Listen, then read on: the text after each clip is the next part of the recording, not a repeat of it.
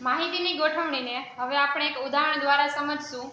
વિદ્યાર્થીના એક સમૂહને તેની પસંદગીના વિષય વિશે મેળવેલી માહિતી અહીંયા આપવામાં આવેલી છે. બરાબર છે? કોઈ એક ઓગણીસ વિદ્યાર્થીઓનો સમૂહ પસંદ કરવામાં આવેલો છે.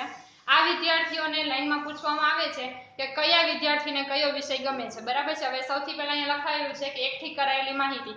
આ માહિતીની અંદર લાઈનમાં જે વિદ્યાર્થી આવતા ગયા, એ વિદ્યાર્થીને જે જે વિષય ગમતો હતો, એ વિષય લાઈનમાં લખવામાં આવ્યો છે. અહીંયા વિદ્યાર્થીનું નામ કે કયો વિદ્યાર્થી છે એને કયો વિષય ગમે છે અથવા તો એક વિષય પસંદ કરનારા કેટલા વિદ્યાર્થીઓ છે, આવી એક માહિતી અહીંયા લખેલી નથી. બરાબર છે? એટલે આ માહિતી ઉપરથી જો તમારે તારણ મેળવવું હોય, એટલે કે નિયમન કરવું હોય માહિતીનું તો એ થોડુંક અઘરું પડે. એના માટે થઈને આપણે ગણિતમાં માહિતીને વ્યવસ્થિત રીતે ગોઠવવી પડે. જેને શું કહેવાય છે? માહિતીની ગોઠવણી. માહિતીની ગોઠવણી કરવા માટે અહીંયા આવૃત્તિ કોષ્ટક બનાવેલું છે, જેની અંદર લખેલું છે સૌથી પહેલા વિષય. આ માહિતીનું અવલોકન કરી અને નક્કી કરવાનું સૌથી પહેલા કે કુલ કેટલા વિષયો છે. બરાબર છે? તો ચાર વિષય હતા. એક કલા, બીજું ગણિત ત્રીજું વિજ્ઞાન અને ચોથું અંગ્રેજી.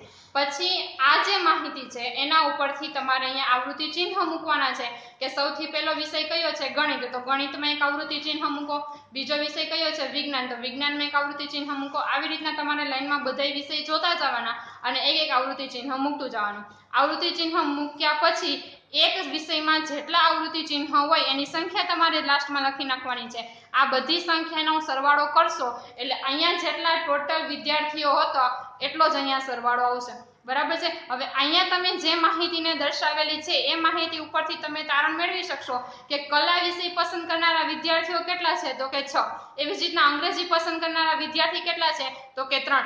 આ માહિતી સમજવામાં થોડીક અઘરી છે. જ્યારે આ માહિતી ઉપરથી આપણે જે તારણ જોતું હોય, એ આપણે વ્યવસ્થિત રીતે મેળવી શકીએ છીએ.